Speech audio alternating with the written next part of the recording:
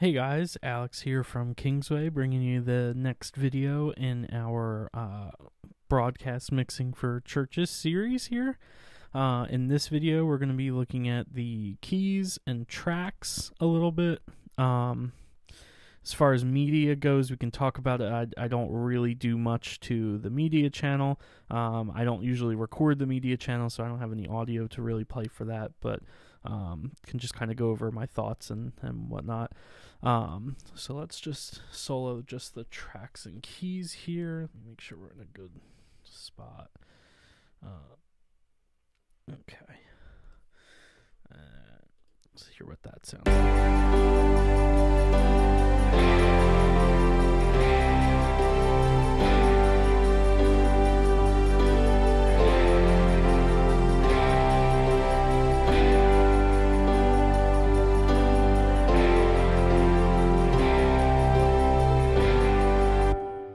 So it just gives you an idea what they they kind of sound like.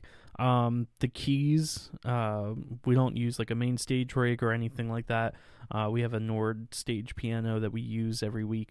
Um, so I really don't mess with these settings a whole lot. Um, really just trying to make it fit in the mix. So again, it is stereo, um, two channels panned hard left and right. Um, just gives it a really nice stereo feel. Um, they do have a pad in there as well. Um, they control the level between their piano and, and pad. So usually towards the end of service, when we're not using tracks as much, they'll blend in a little bit more of the pad sounds. Um, but on here, it's going to be mostly piano.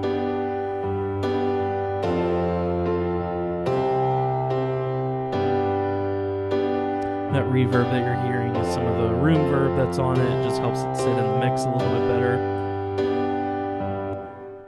So not doing a whole lot. Um, there was just some ringing going on here in the top end of the Nord. Um, just cut that out, and then just doing a little bit more tone shaping um, and some compression on that. Um, the tracks are pretty much the same. They're they're getting compressed a decent amount just to help them fit in the mix, but I'm just taking out some harshness really. Um, I I sit down. I mentioned in one of the earlier videos, but I sit down with our tracks computer and just play it through our system and just kind of mix and level out some of the tracks a little bit, um, and maybe do some light EQ and compression actually in Ableton, um, so that you know because we only have the stereo channels left and right, um, it just gives me a little bit more control to do that beforehand, and then I can just bring up the overall volume as I need it. Um, so the tracks sound like this.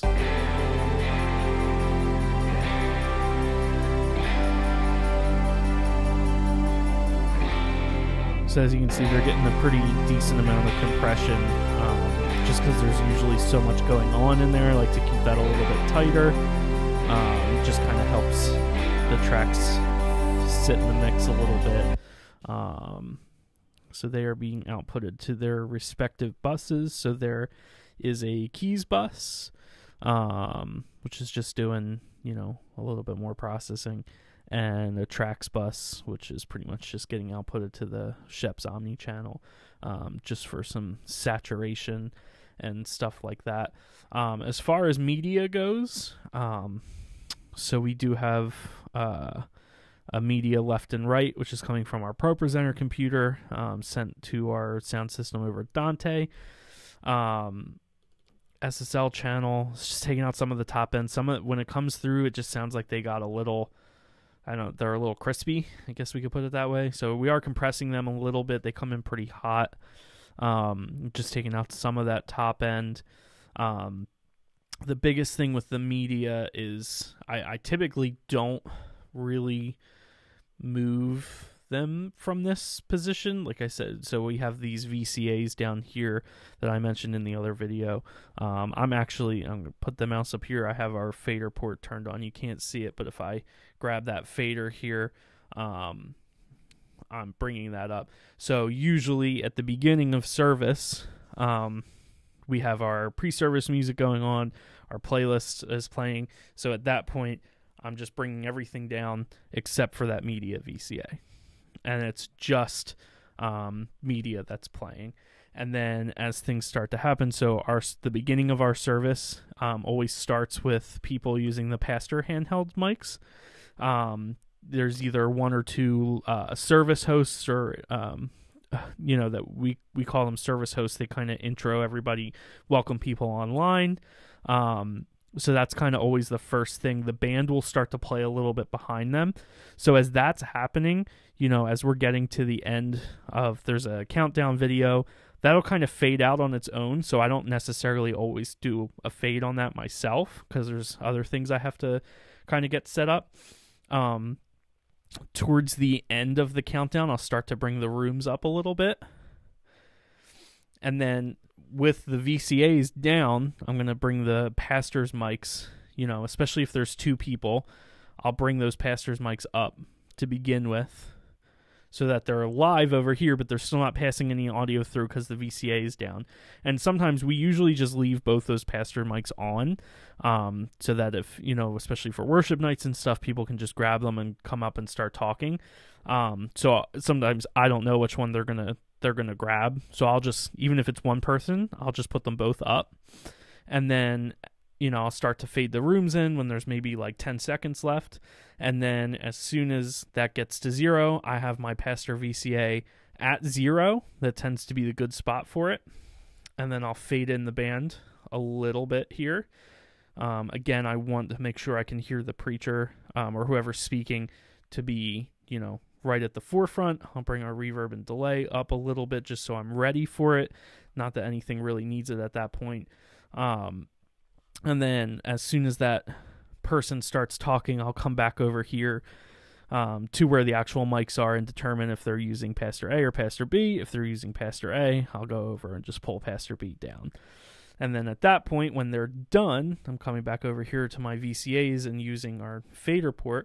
I can then fade up the band and the instruments and everything, bring up the room to unity, and then I can bring the media and the pastor down, and the reverb and delay I usually keep somewhere about there.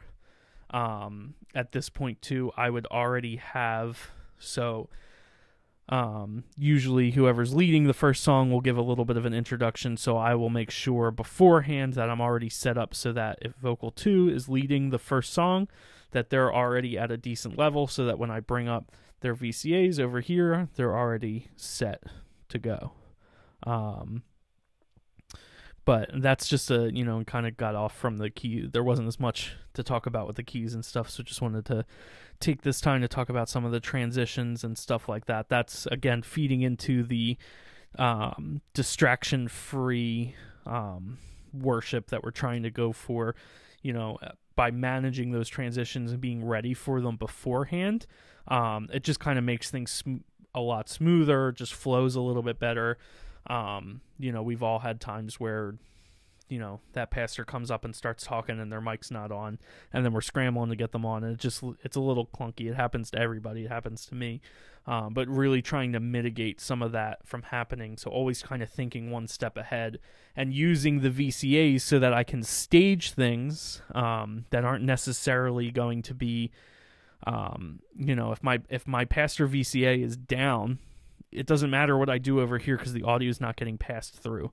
So that's my way of being able to stage this and say, all right. Um, and the way that we have the gain structure set up, I set it up purposely so that their usual level is somewhere around unity. Um, and that's just for a memory thing that I know that if I have them set at unity, I'm in a good spot so that they're not too soft, too quiet, and then I can adjust from there. So at this point, I have those mics ready, um, but then they're not actually passing through until I go and bring up my Pastor VCA fader, and then they're ready. And then if they're still a little quiet, I can come over here and push this up. Again, bring this mic down if they're not using it. But it's all about thinking ahead to the next transition. So at this point, you know, the band's starting to play a little bit behind the pastor or whoever's speaking in the beginning. So at this point, I'm determining okay, the first song, this person's leading, you know, maybe it's vocal one. So in this point, I'm bringing vocal two down because maybe they were leading the last song of the previous service. And I'm bringing up vocal one as kind of a preparation. They're not speaking right now, but I'm kind of prepared so that again for that transition, now the pastor's done, I can bring the pastor's mics down and fade up to unity on my VCAs and then we're pretty much set at that point. It's not always perfect, but again, it's just about getting out in front and using the tools that you, you know, planning center and all that kind of stuff to be prepared.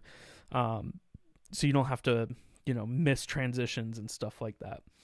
That's the most important thing. Um, if your broadcast mix is good, but you can't hit your transitions, it's still going to be distracting and it's going to cause people to kind of tune out or, um, you know, lose interest in your stream if there's a lot of audio issues and stuff like that. So, uh, people would rather listen to maybe not the best mix, but if you hit all your transitions and it's not awkward or clunky, they would rather listen to that than a perfect mix where you're missing every transition. So, um, that's definitely kind of on the forefront with that.